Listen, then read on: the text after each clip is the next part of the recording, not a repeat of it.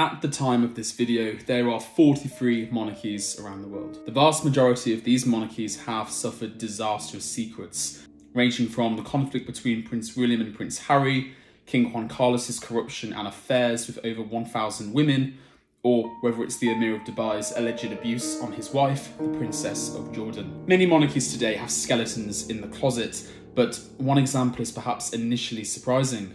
Almost all of these monarchies now hide or outright deny that they are inbred. Because monarchs are public entities, they are expected to divulge many aspects of their professional legacy and private life, which isn't very private at times. Almost as soon as a royal is born, they are granted a biography on the royal family page, which will convey the ancestry. However, after looking around at websites for several monarchies, I've found outright lies that they are now informing the public regarding how inbred they are. Without further ado, let's move on to today's video.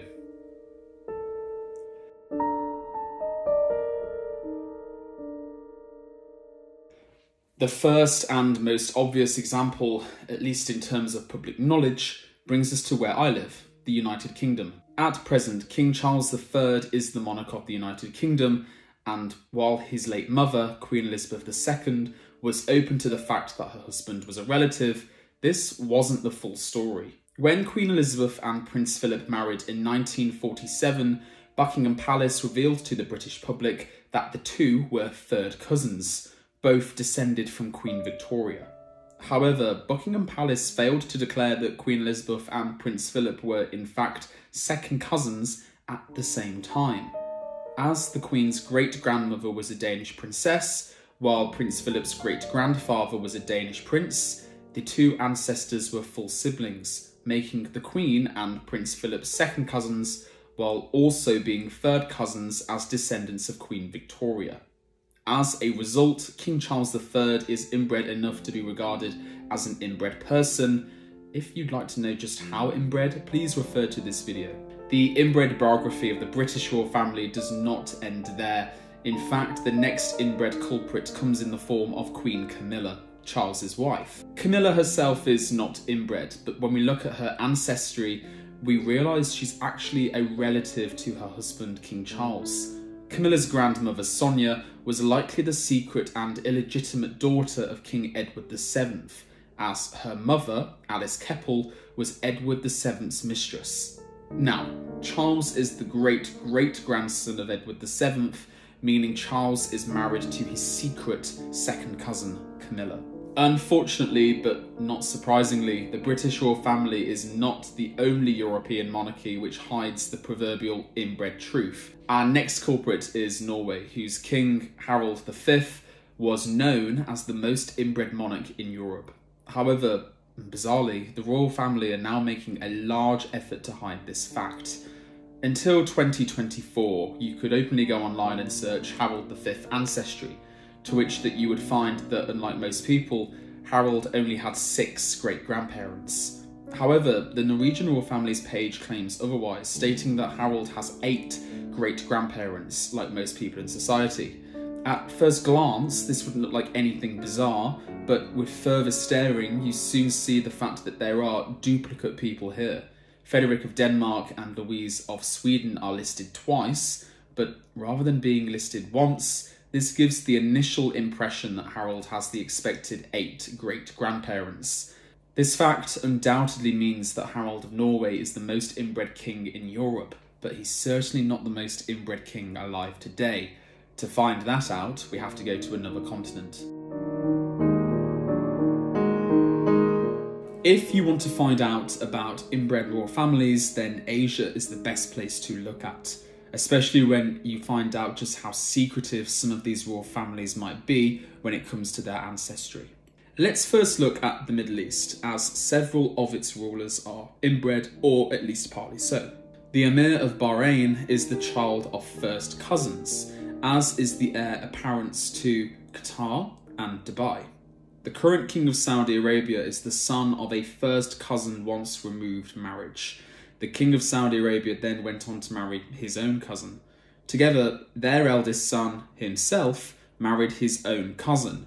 His tragic death from heart failure at 47 is often attributed or at least augmented by his inbreeding. It would be a misnomer to see the Middle East as the only place which contains royal families who obscure how inbred they are. Let's now move further along. The Sultan of Brunei, too, is the child of first cousins. The King of Thailand, however, and Thailand's monarchy in general, is often regarded to be one of the most inbred in the world. The king is married to his mother's niece, while the current king's parents, Rama IX and Sirikit, were second cousins, as Sirikit's father and Rama's father shared a grandfather, King Rama V.